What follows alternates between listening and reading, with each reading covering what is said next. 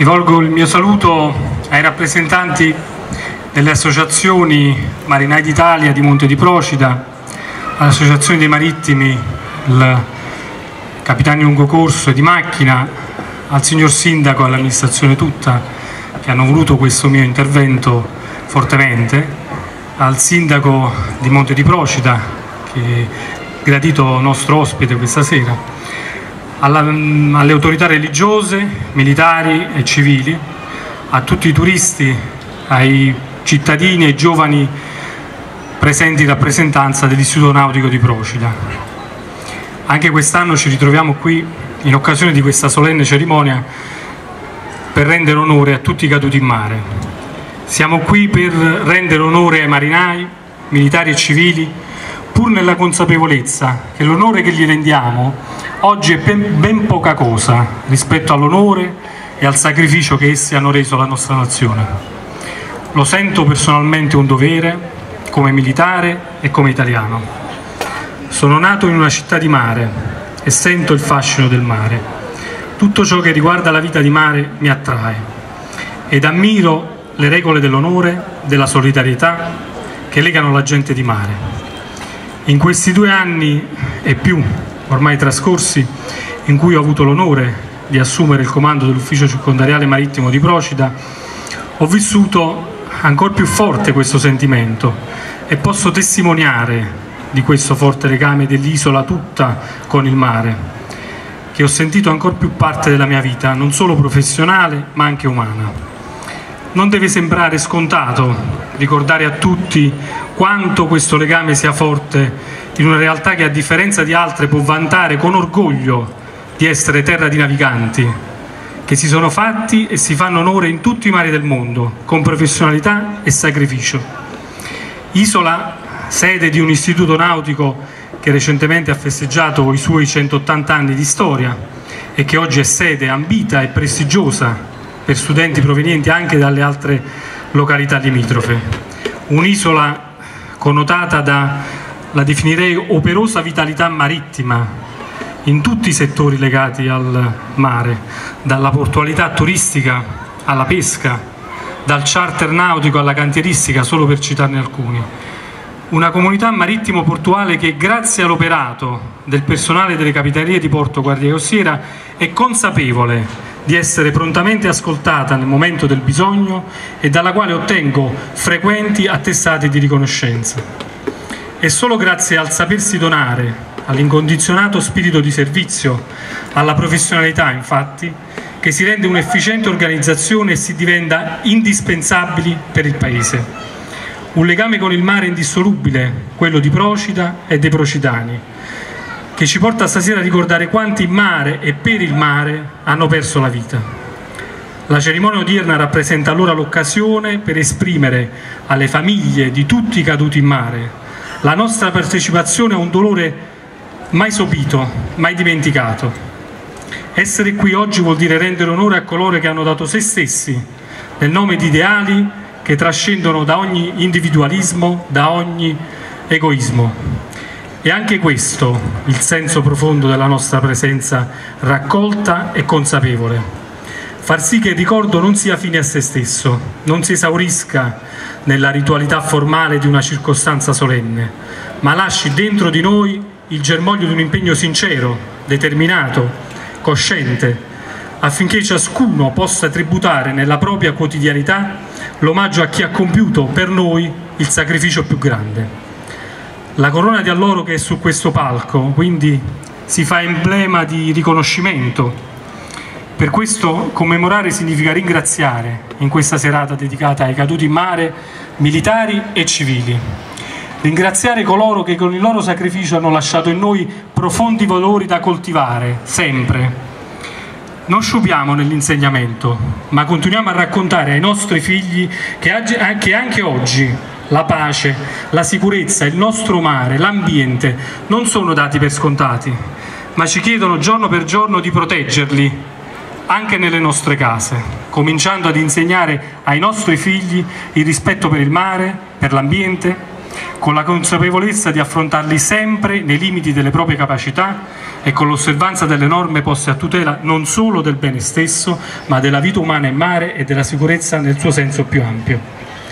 Colgo l'occasione per ribadire la necessità di perseguire, anche in questo periodo di crisi, ogni sforzo economico per innalzare il livello di sicurezza dei nostri naviganti e mi permetto di dire di tutti gli utenti del mare. Sacrificio, solidarietà, generosità, spirito di servizio. Ecco l'Italia che vogliamo onorare, ecco l'Italia che dobbiamo difendere ogni giorno.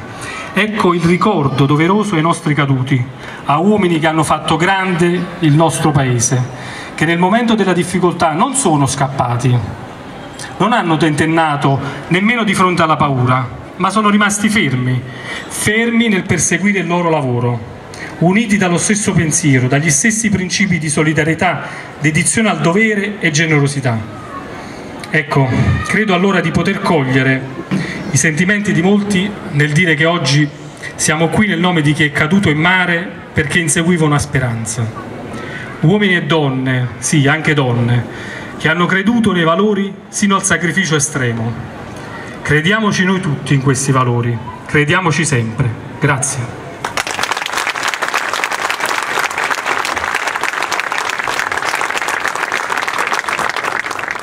Dio onnipotente e misericordioso, che santifichi le tue creature con la tua potenza e la tua parola. Benedici questa corona e questa targa che in segno di gratitudine deponiamo in, onore, in onore di coloro che sono caduti in mare in tempo di guerra o in tempo di pace dona loro la beatitudine eterna e concedi la grazia di custodire sempre nei nostri cuori la memoria delle loro persone e della loro grandezza morale. Per Cristo nostro Signore. A te, o oh grande eterni Dio, Signore del cielo e dell'abisso, cui obbediscono i venti e le onde. Noi, uomini di mare e di guerra, ufficiali e marinai d'Italia, da questa sacra nave, armata della patria, leviamo i cuori. Salve ed esalta nella tua fede, o oh gran Dio, la nostra nazione. Da giusta gloria e potenza alla nostra bandiera. Comanda che la tempesta ed i frutti servono a lei. Pone sul nemico il terrore di lei fa che per sempre la cingono indifesi petti di ferro, più forti del ferro che cinge questa nave. A lei per sempre dona vittoria. Benedici, o oh Signore, le nostre case lontane, le care genti. Benedici nella cadente notte il riposo del popolo. Benedici noi che per esso vegliamo in armi sul mare. Benedici.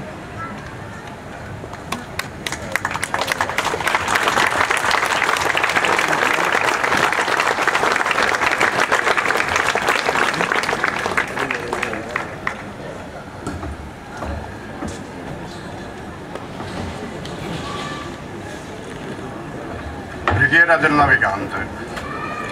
Al calar della sera, noi uomini di mare, a te leviamo, Signore, la nostra preghiera e i nostri cuori, i vivi sulle navi, i morti in fondo al mare. Fa che la notte passi serena, per chi veglia nel lavoro, per chi stanco si riposa.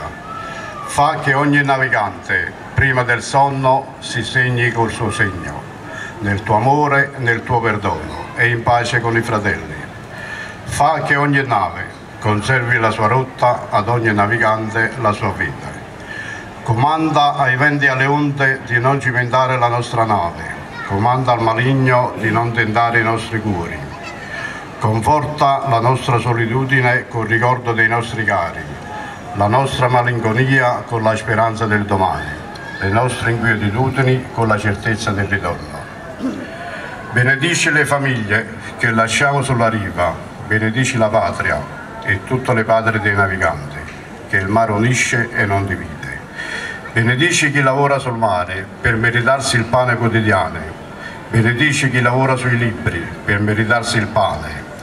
Benedici chi in fondo al mare attende la tua luce e il tuo perdono. E così sia.